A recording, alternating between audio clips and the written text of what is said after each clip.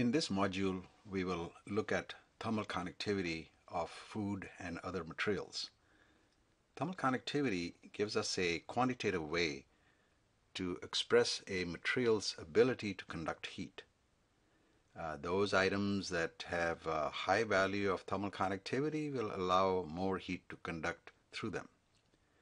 Now foods are generally not very good in conducting heat.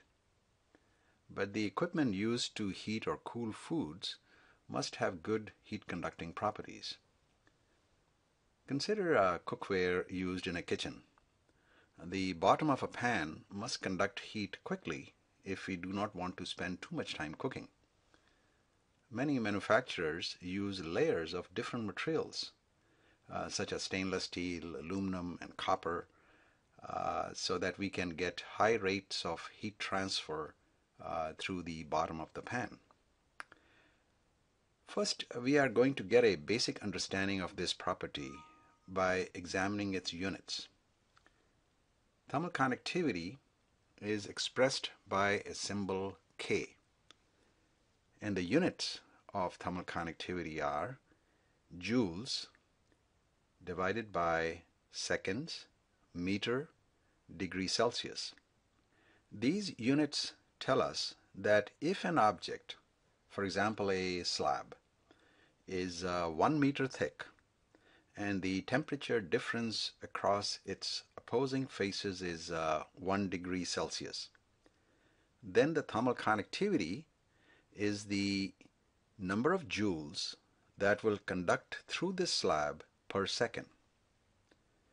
So if the value of thermal conductivity of a material is 15, it means that 15 joules will be able to conduct in one second if the object is one meter thick and the temperature difference across that object across the two faces is 1 degree C.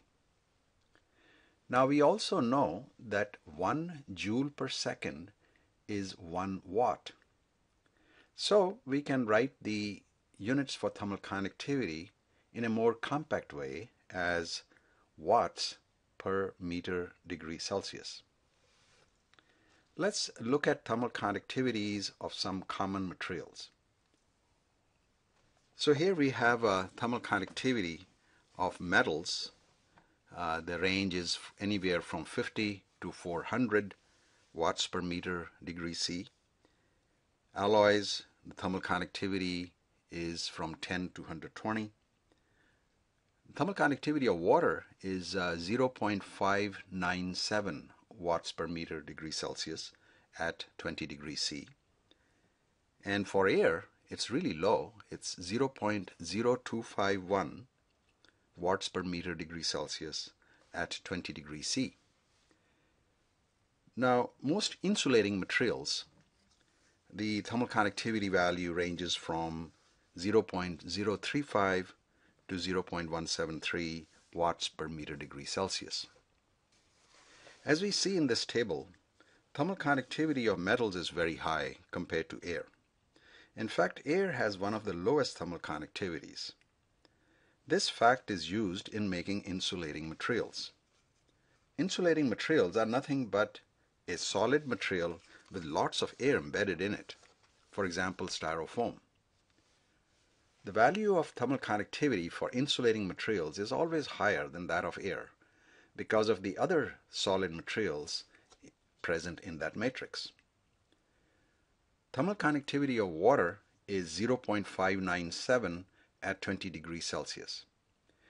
Note that we list thermal conductivities of fluids, that is air and water, in terms of their temperature.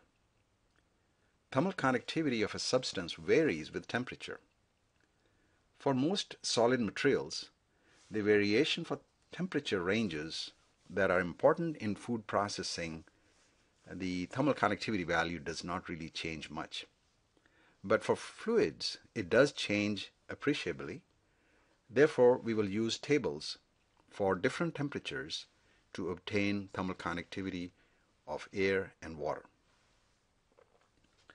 Now, if you wanted to quickly estimate thermal conductivity of a high moisture food, such as strawberries, we will expect that its thermal conductivity will be close to that of water. Whereas if we were to estimate thermal conductivity of freeze-dried strawberries, then the value will be closer to that of air.